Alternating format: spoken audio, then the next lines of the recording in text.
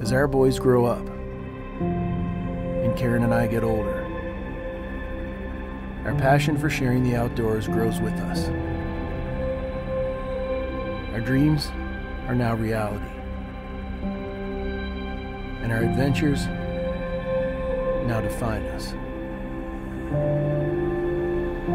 So our dedication and our conviction is no longer limited to just our family. Our purpose in life now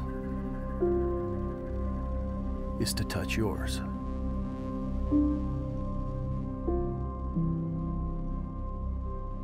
You may have never heard of us. We are raised hunting, and we are raised at full draw. But most importantly, we are the holders. The family that built all of this for you.